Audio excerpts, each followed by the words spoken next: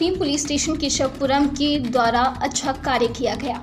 जघन्य अपराध में वांछित घोषी अपराधी को गिरफ़्तार किया गया।